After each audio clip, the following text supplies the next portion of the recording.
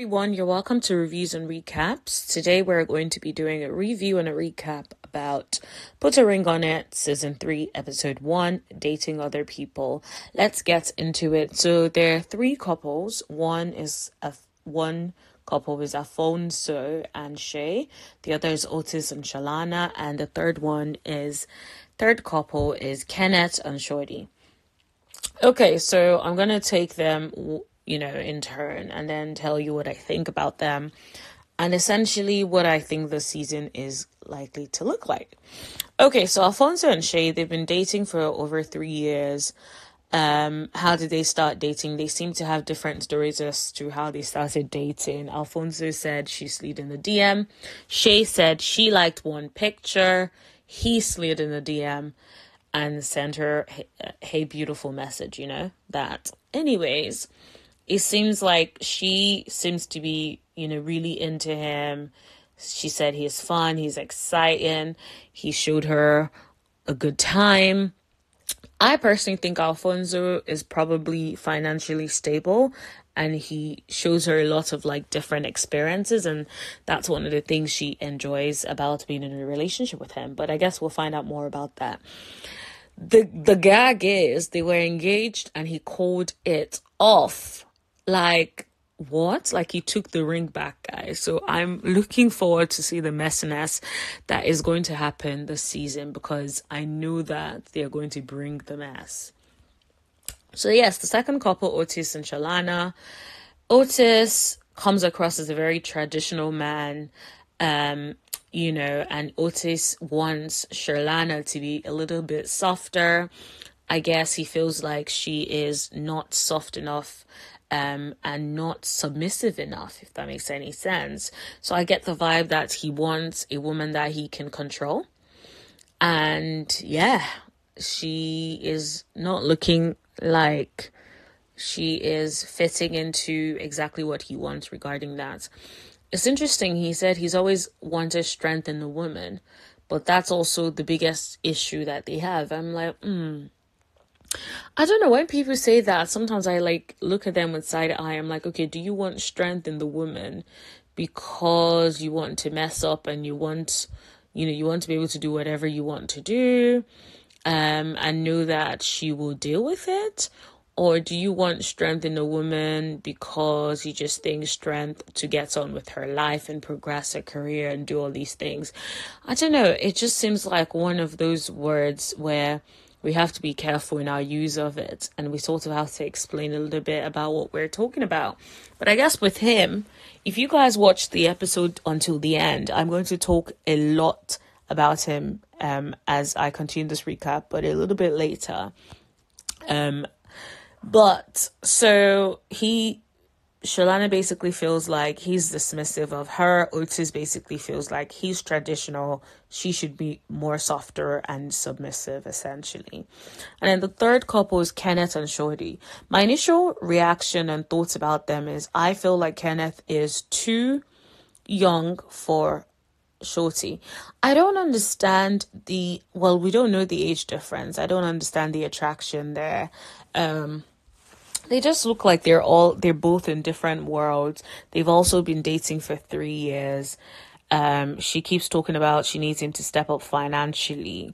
He just seems like a man that is just taking has little to no ambitions, not doing too much, um, not financially stable, just like a typical young man still trying to figure out his life, um, but happens to find himself in a relationship with an older person.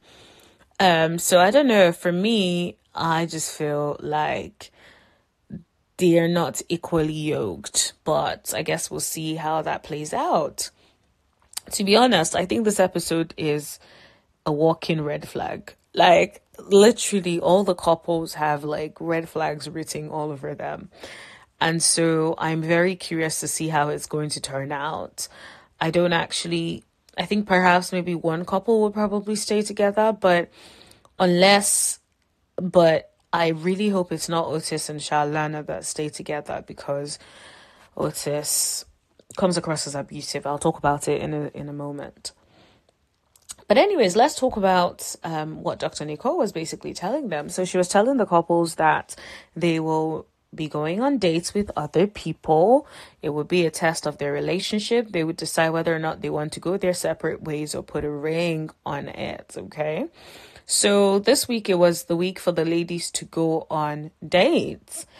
And so basically everyone dispersed and did their own thing. Brian showed up at Shay's house. So Brian is this whole chocolate man. He showed up at Shay's house to pick her up.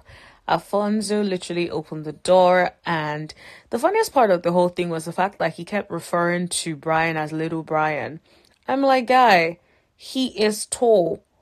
He is not little. He's big enough. He's not fat. He's big you know, muscular enough. So I don't understand why you keep calling him Little Brian. Like, I don't understand that.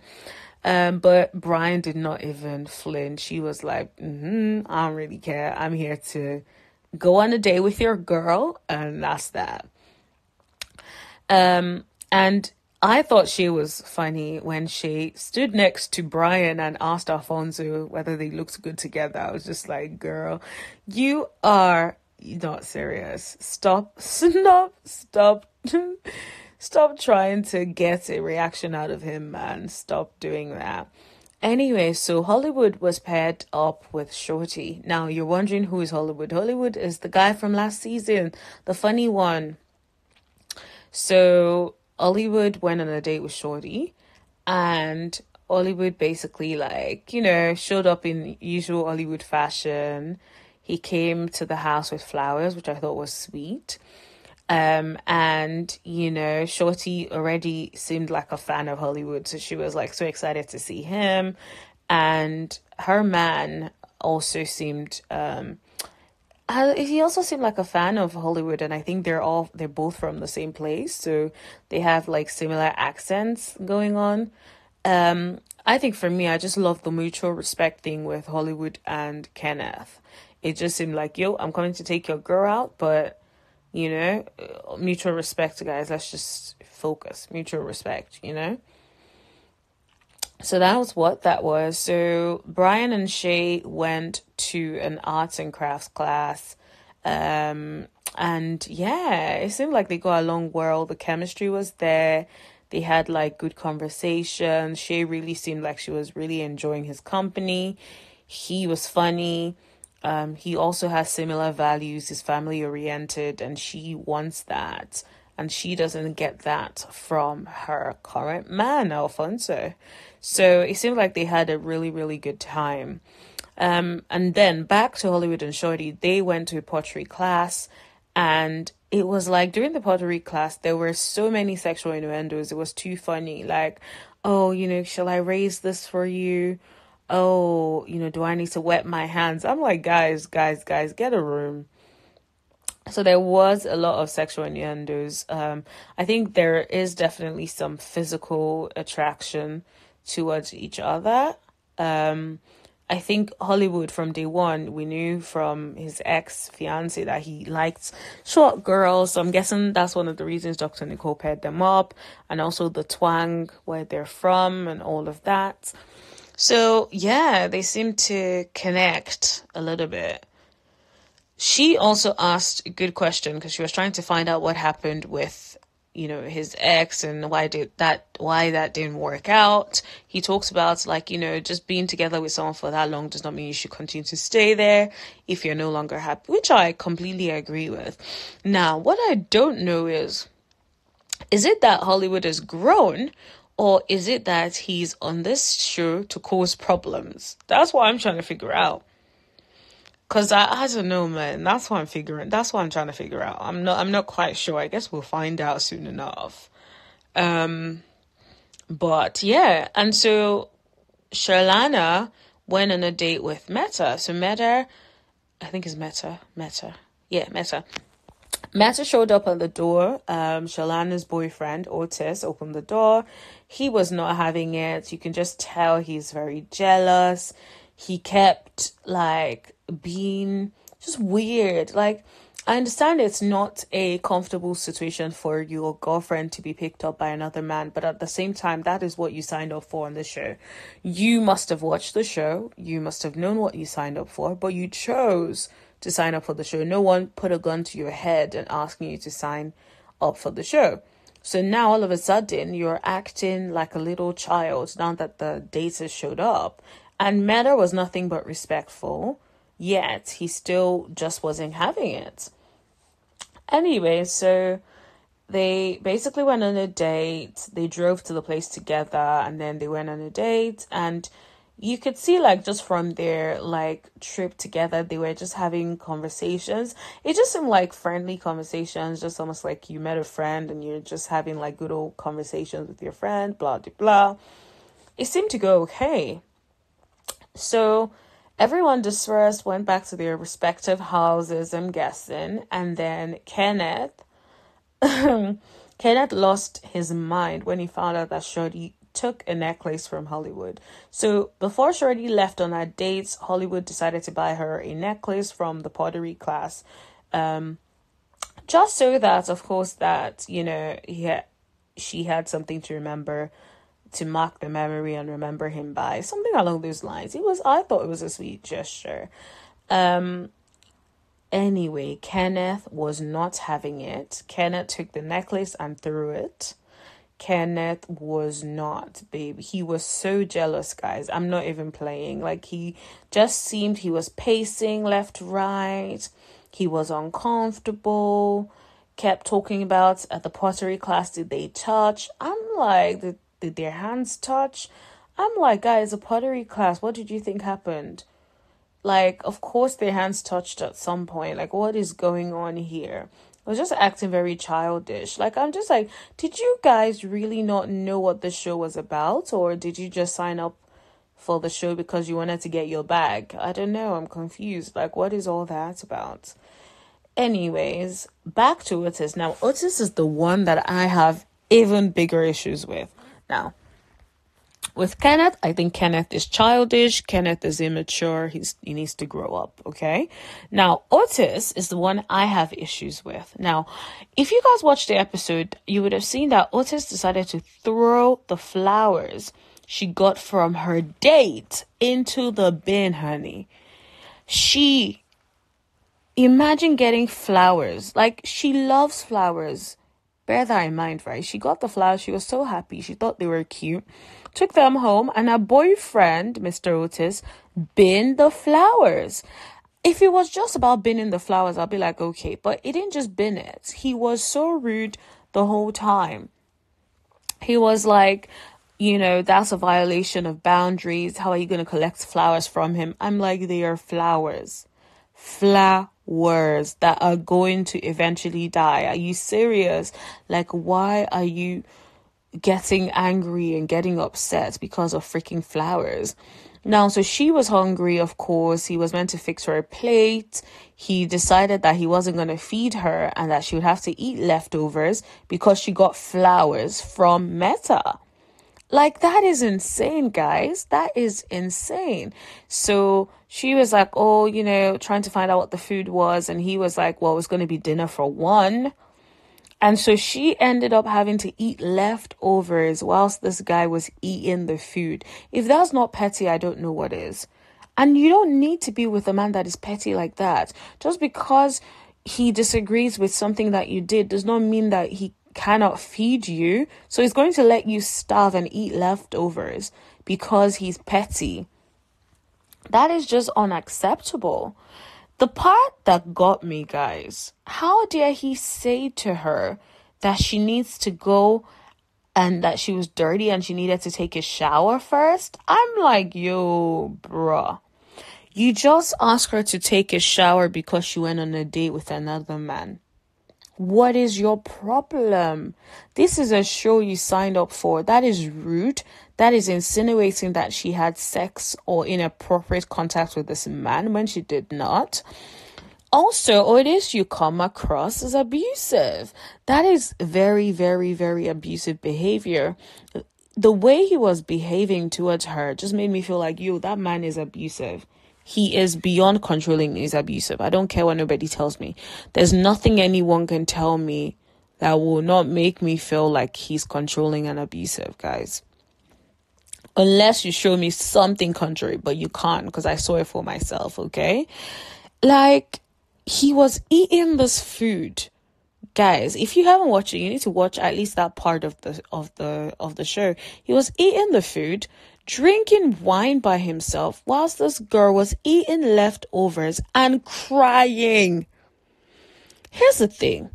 Whatever happened if your baby's out here crying you need to like stop the pettiness and come and hug your baby and be like i'm sorry like what the hell like if my boyfriend I was crying and my boyfriend left me to cry and was being petty and ate food and ignored me and and after being rude and controlling, fam, we won't be together. What sort of behavior is that?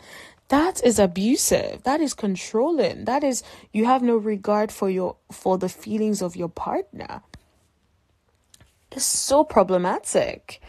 Anyway, so everyone was back at the meeting with Dr. Nicole, and Dr. Nicole was asking, you know, what the dates were like. Dr. Nicole was basically asking Shay about the dates, and that's where the episode ended. So, Dr. Nicole was asking Shay about the date. Shay was talking about how the date was nice. You know, he's a nice guy. He has a really big family. He's close with his family.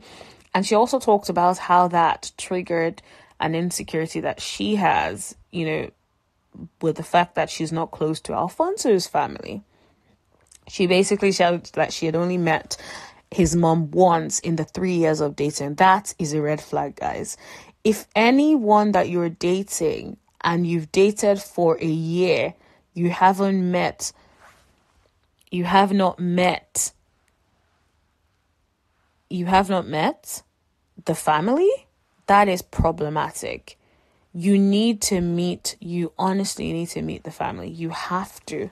It is important. It is imperative. Now, if you guys were dating as kids, I'll be like, okay, that's fine because I've dated guys that I've never met my family. However, if I'm dating now as an adult, at some point you're going to have to meet my family at some point you're going to have to have conversation with my family. I'm not going to be with you for three years and not introduce you to any of my family members.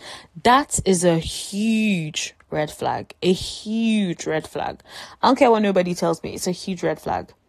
She should run and never come back. The worst part of this right is that the one time she met his mom in the last three years it wasn't that he initiated it. No, he left her sitting and waiting for him in the car. He took his time to come out. She went in and saw his mom and said hello. Even he still didn't formally say, okay, this is my babe. He did not. So Dr. Nicole was trying to inquire to find out what's happening. He was very dismissive. He was laughing the whole time. I'm thinking this thing is making your spouse so upset and you are laughing like it does not matter. And then he had the audacity to say, well, his mom is close to his baby mama, so she feels a sense of loyalty to his baby mama. And I'm like, okay, I hear that, but you should draw your boundaries. Your baby mama is different from who you're now dating and who you've been dating for three years. So essentially, if who you've been dating for three years needs to, you need to introduce her to your mom formally. If you're really serious about her, if you really, really want something long term, before you put a ring on it, you're the one that proposed to her, but did not even tell any of your family members. That is problematic. Now, the worst part of it is Shay was saying in her confessionals that he told her he was going to a work trip or work, going out for work, and she ended up on social media finding out that he was on a family vacation. Guess with who? With his mom, with his baby mama, and all the members, all the rest of his family. And she was not invited. Babe, he did not even tell, uh, he did not even tell her about the trip. So she knew had no idea. Imagine finding out on social media. That is a slap in the face. Like she was so upset and rightfully so. And eventually, whilst they were talking, because he was just being very dismissive, she walked off. And that's where the episode ended. Now, guys, I can already tell that this season is going to be hot. So I'm really excited to watch it and share some of the tips with you guys. Um, yeah, so what did you guys think of this episode? Was it interesting enough for you? Um, are you going to be tuning in to watch the whole season? What do you guys think? Let me know in the comment section below. And yes, have a lovely time. I'll see you soon. Bye.